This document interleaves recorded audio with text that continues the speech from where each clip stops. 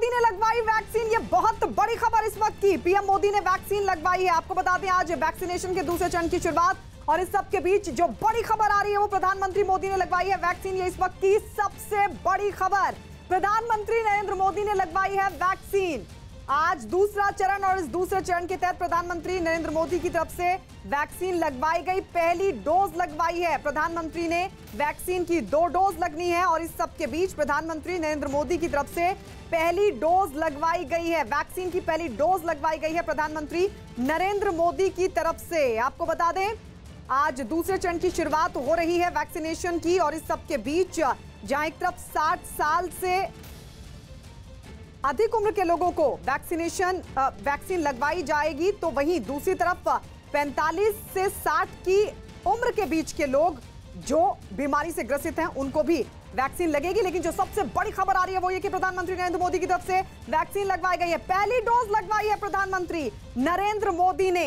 दूसरा चरण वैक्सीनेशन का। और इस बीच ये बहुत बड़ी खबर, बहुत बड़ी खबर। वैक्सीन की पहली डोज प्रधानमंत्री मोदी ने ले ली है। प्रधानमंत्री नरेंद्र मोदी की तरफ़ से वैक्सीन लगवाई गई है। विक्रांत यादव हमारे सहयोगी जुड़ गए हैं। विक्रांत, क्या पता चल पा रहा है? देखिए पीएम ने वैक्सीन की डोज लगवाई है क्योंकि आज से एक तारीख से कोरोना वैक्सीनेशन का दूसरा चरण शुरू हो रहा है, जिसमें 60 साल से ऊपर के हर व्यक्ति कोरोना का टीका लगवा सकता है और 45 साल से ऊपर के वो व्यक्ति जिनको 20 तरह की बीमारियाँ उसकी लिस्ट भी सरकार ने जारी की है। तो पीएम ने ये टीका लगवा, साथ साथ पीएम ने ये भी अपील की है कि जो भी लोग अब टीका लगाने की पात्रता रखते हैं, उसमें आते हैं, साठ साल से ऊपर के वो सभी लोग टीका लगवाएँ। तो एक तरह से पीएम का टीका लगवा करवाना पहले रोक रहे विक्रांत आपको ये देखिए तस्वीर भी सामने आ गई है। प्रधानमंत्री नरेंद्र मोदी ने एम्स में पहली डोज ली है। वैक्सीन की पहली डोज ली है। कोविड की वैक्सीन की पहली डोज प्रधानमंत्री नरेंद्र मोदी की तरफ़ से एम्स में एम्स में डॉक्टर्स उनको वैक्सीन लगाते हुए, पहली डोज लगाते हुए दो डोज ले लिए, लेकिन पहली डोज ले लिए फ़िलहाल प्रधानमंत्री नरेंद्र मोदी ने। सात साल के ऊपर जो लोग हैं, उनको वैक्सीनेशन किया जाएगा दूसरे चरण के तहत, और इस सबके बीच जो बहुत बड़ी जानकारी है, वो ये और ये महत्वपूर्ण तस्वीर भी हम आपको दिखा रहे हैं। प्रधानमंत्री नरेंद्र मोदी की तरफ़ से पहली डोज वैक्सीन की ली गई है। कोरोना वैक्सीन की पहली डोज ली है प्रधानमंत्री नरेंद्र मोदी ने। एम्स में एम्स में डॉक्टर्स की तरफ़ से उनको पहली डोज लगाई गई और देखिए मुस्कुराते हुए प्रधानमंत्री नरेंद्र मोदी इन तस्वीरों में दिखाई दे रहे हैं। तो एम्स में ये पहली डोज ली है, first dose of the covid nineteen vaccine at AIIMS centre. तो प्रधानमंत्री नरेंद्र मोदी की तरफ़ से पहली डोज लगवाई गई है वैक्सीन की। तो आज दूसरे चरण की शुरुआत और इस सब के बीच ये बहुत बड़ी खबर और बेहद महत्वपूर्ण भी देश के लिए भी विक्रांत, क्योंकि एक बड़ा संदेश प्रधानमंत्री नरेंद्र मोदी की तरफ़ से उन लोगों को भी जो लगातार सवाल भी खड़े कर रहे थे वैक्सीन को लेकर।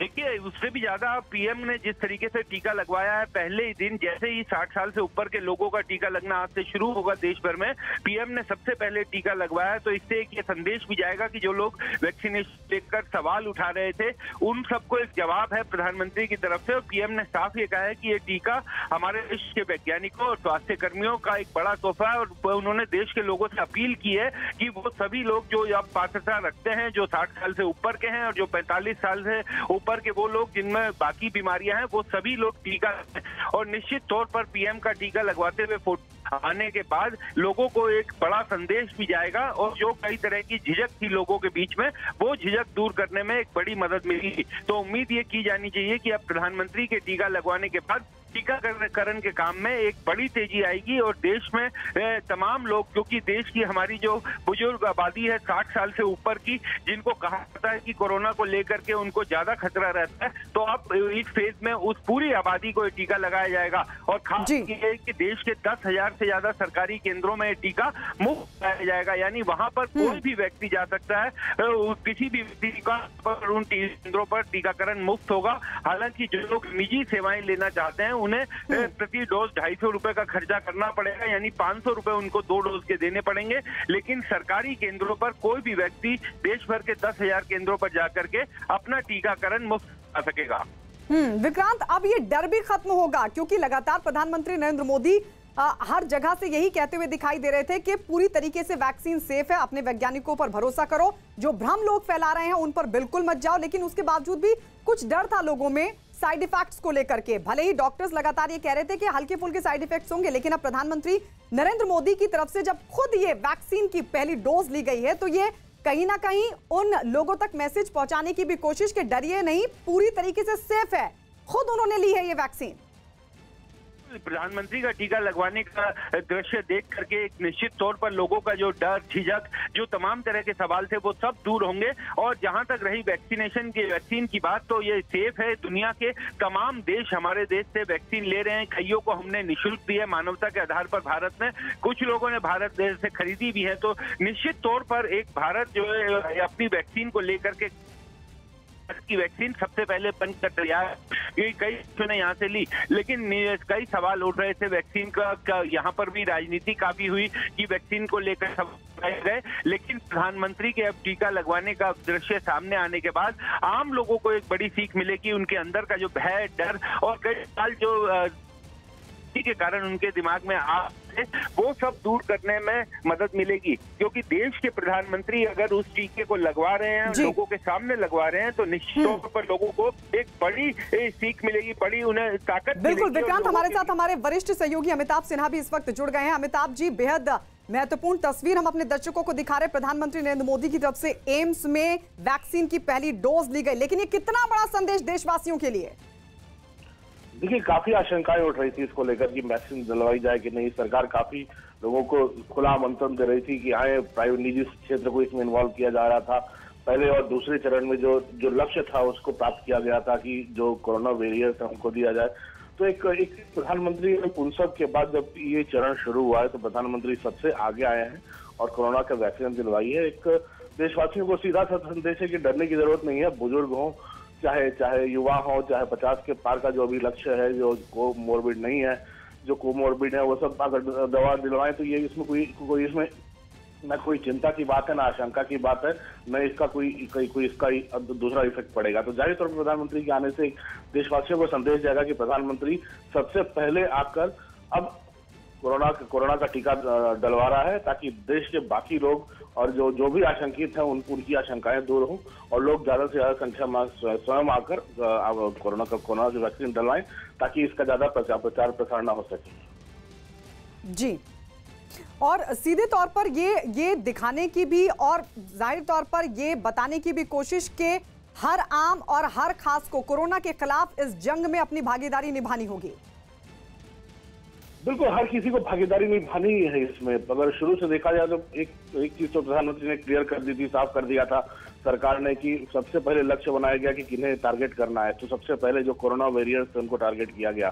चाहे वो चाहे वो हॉस्पिटल के स्टाफ हो, चाहे डॉक्टर्स हो नर्सेज हो, इन सबको सबसे पहले कोरोना के टीके दिए गए। इसके बाद लक्ष्य जो साधा गया, उसमें लोगों को आने को कहा गया कि आप जो अब नॉर्मल लोग हैं, वो आकर आए जो तीन करोड़ जो बुज़ुर्ग हैं, वो सामने आकर आए तो एक लक्ष्य को एक एक एक एक फ़ेज़ में सरकार ने प्लान किया था, और उस फ़ेज़ के हिसाब से सरकार चलती गई, और लोगों में जागृति भी आती गई है। तो प्रधानमंत्री के सामने आने से एक तो सीधा सा मैं संदेश है पूरे देश को कि अब इस वैक्सीन से डरने की ज़रूरत नहीं है। भारत दुनिया भर के देशों को वैक्सीन सप्लाई कर भी रहा है और भारत के अंदर पूरे के पूरे देश को एक कोरोना वैक्सीन देकर अब भारत को कोरोना मुक्त बनाने की प्रक्रिया शुरू हो चुकी है और प्रधानमंत्री उसमें खुद सामने आए हैं और जहाँ तक कोरोना वैक्सीन की बात है इसकी दाम इसकी कीमतों को भी फिक्स रखा गया है कि और दूसरा कि निजी क्षेत्रों को इन्वॉल्व किया गया है। ज़ाहिर तौर पर अगर निजी क्षेत्र सामने आता है तो ज़्यादा से ज़्यादा लोगों तक पहुँचने में सरकार को मदद मिलेगी। तो एक एक शुरुआत हो गई है। मुझे लगता है कि अब धीरे धीरे अब लोगों की आशंकाएँ दूर होंगी और प्रधानमंत्री के सामने आने प्रधानमंत्री की अपील का लोगों को पता है भारत के लोगों पर काफ़ी असर भी पड़ता है। और जब प्रधानमंत्री खुद सामने आकर अगर अगर हम्म। टिकट दिलवा रहे हैं तो लोग मुझे लगता है ज़्यादा से ज़्यादा संख्या में सामने आएँगे हम्म। अमिताभ जी रहिए हमारे साथ। विक्रांत और क्या जानकारी मिल पा रही है? किस वक्त ये पहली डोज प्रधानमंत्री मोदी की तरफ़ से ली गई? और साथ ही अब जो दूसरी डोज है क्योंकि दो डोज लगनी है उसके बारे में भी कुछ पता चल पा रहा है?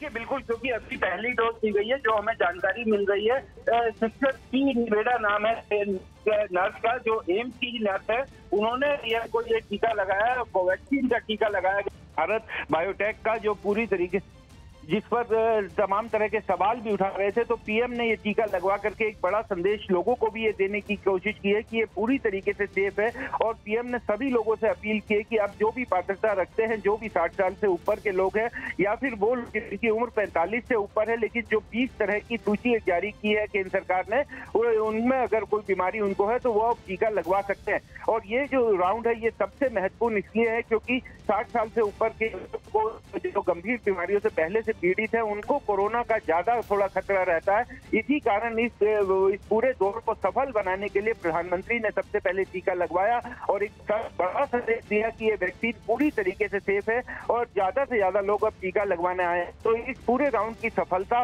अब इस इसी पर टिकी है कि कितने ज़्यादा लोग आएँगे और एक तरह से अब ये साफ़ दिखाई दे रहा है कि प्रधानमंत्री ने जिस तरह से टीका लगवाया तो लोगों के मन में जो शंका भय जो डर था या फिर राजनीति जो हुई थी उसके कारण जो सवाल उनके मन में उठ रहे थे वो सभी अब दूर होंगे और लोग अपना टीकाकरण करवाने और देश के दस हज़ार के सरकारी केंद्रों में टीकाकरण पूरी तरह से मुफ़्त होगा। यानी वहाँ पर कोई भी व्यक्ति जाकर के अपना टीका लगवा सकता है अपना रजिस्ट्रेशन उसे करवाना पड़ेगा और उसके बाद वो टीका लगवा सकते हैं। हालाँकि निजी केंद्रों को भी यह अनुमति मिली है लेकिन वहाँ पर जो लोग प्राइवेट इसका फ़ायदा उठाना चाहते हैं टीकाकरण का उनको प्रति डोज ढाई सौ रुपए खर्च करने पड़ेंगे।